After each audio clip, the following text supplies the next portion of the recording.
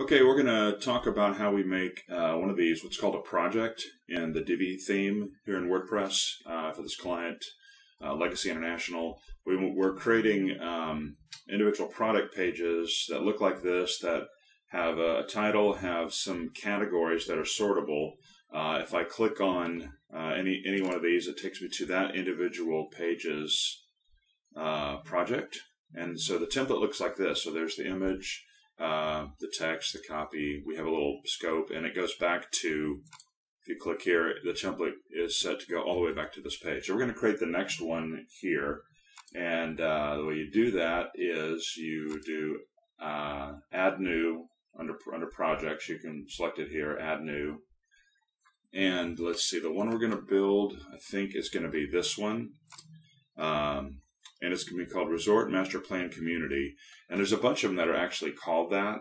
So let's type that in, Master Plan.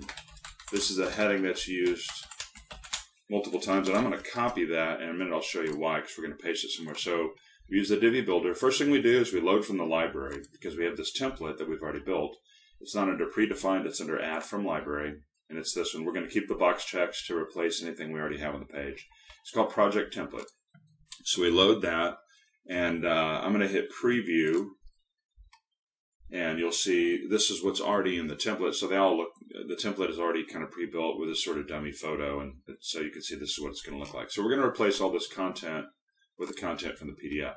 Um, first thing let's do, uh, this first text box up here, I copied that heading because I usually go in here and and uh, paste it in there. Um, and I think it was already the same one, but that's the first thing I do. Um, so let's copy this text. And I'm going to go into the text mode here to paste it. Um, because it won't, otherwise it'll pull in all the formatting um, that was in uh, the PDF, and I, I, don't want to put it in text mode, so I won't get the formatting. So go back to the visual tab, and I'm going to go into full screen mode because what we need to do, it, it didn't pull in the formatting, but it did pull in the hard returns. So we need to kind of take a minute and just clean it up and get rid of those hard returns.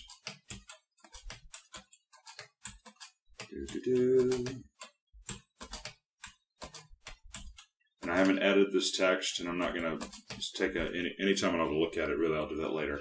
So we're going to exit the full screen mode. Uh, you can check right here if you want to see, make sure uh, what it looks like.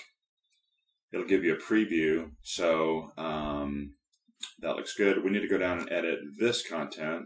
So we're going to save and, and edit here because that content is actually in the second text box.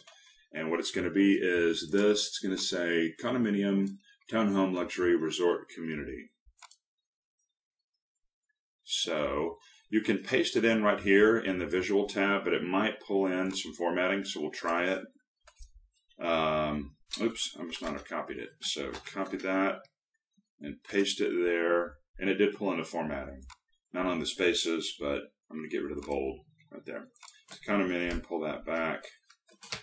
There. And then 2,000 units, it was 385. So there. And then we'll check this to make sure and the visible tab. So it looks pretty good. Uh, save that. Okay, we haven't, the only thing we haven't done are the categories and the images.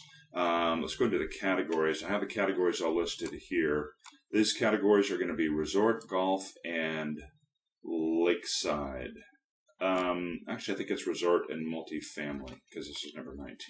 So it'll be uh, there's multifamily category, there's the resort category, and what that's going to do is uh, populate these. So it'll say, uh, and, and those are dynamic links. So when I click residential, it'll pull in every one of these and create a page, every one of these that has uh, a category of residential. Okay, so we have our categories. The image is the last thing, and we've already created our image. Uh, we haven't uploaded it to the library yet. And it is um, number, is that right? Uh, that is the image. So let's actually we haven't. I guess we haven't saved it to the library. So let's do that. Should be number nineteen. And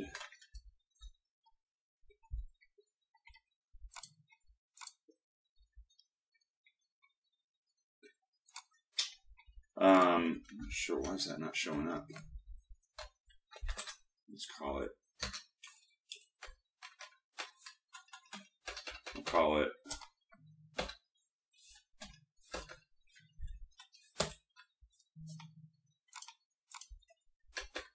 we'll call it 19B so we know it's there. Okay. Select files. There it is. 19B. Uh, and we're going to set that as the image. So that's the main image that's on the page. Um, hit the view and you can see it is this image that's on the page. But we also have to set this image that's on the main completed projects page, which is a different place. That's called the featured image. So you roll down to the bottom, select the featured image. We're going to use the same image, but you just have to set it so it'll pull it in two different places. So that should be, um, I'm going to go ahead and publish this one because I think it's ready. Um, you'll notice that it says plan, uh, Resort Master Plan Community 9. There are eight other pages apparently that are using that title. So you can't have it in there more than once. So it'll, it'll just add the dash 9 to the URL. Um, and uh, so let's see what this one looks like for Master Plan Community. And you can see there it is, added the 9 up in there. Uh, I think all that's correct. I'll probably need to go back and check. So then if I go to the main all completed projects page, this should be the first one, and there it is. And you can see there's resort and multifamily. So if I click on resort, resort, it creates a page with every, uh, it builds a page that doesn't really exist, but it's every page that's been categorized with that resort tag.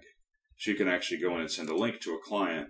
Um, oh, here's a, you know, check out all our resorts. It'll pull in anything that has that category included.